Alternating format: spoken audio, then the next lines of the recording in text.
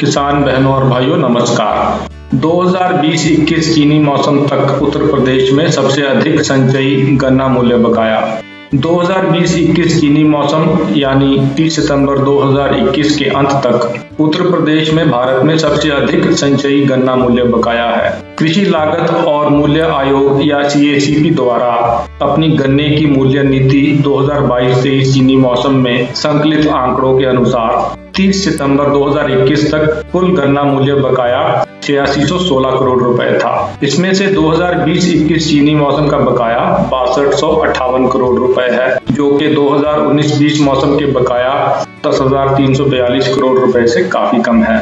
सी ने उल्लेख किया कि सभी भारतीय राज्यों में उत्तर प्रदेश का कुल गन्ना मूल्य बकाया हिस्सा चौवन दशमलव चार प्रतिशत या छियालीस सौ अठासी करोड़ रुपए है। उच्च संचयी गन्ना बकाया वाले अन्य राज्यों में तमिलनाडु का बकाया सोलह सौ चौवालीस करोड़ रुपए, गुजरात का आठ सौ चौवालीस करोड़ रुपए और महाराष्ट्र का पाँच सौ बयालीस करोड़ रुपए है।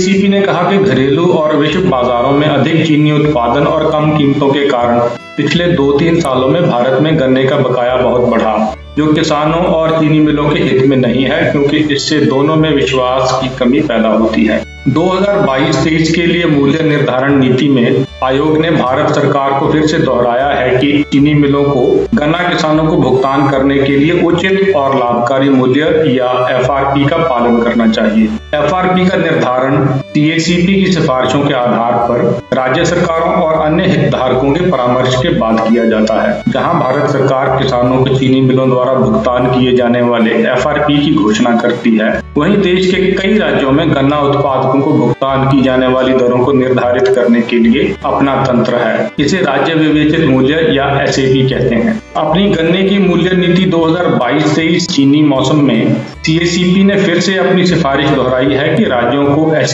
तय करना बंद कर देना चाहिए। आयोग ने कहा कि चार राज्य सरकारें, हरियाणा, पंजाब, उत्तराखंड और उत्तर प्रदेश एसएपी की घोषणा करके गन्ने के मूल्य निर्धारण में हस्तक्षेप करती हैं। हम आशा करते हैं कि इस वीडियो में दी गई जानकारी आपके लिए उपयोगी होगी। अगर आपको यह वीडियो अच्छा लगा हो तो हमारे चैनल को सब्सक्राइब करें और हमारा हौसला बढ़ाएँ। धन्यवाद।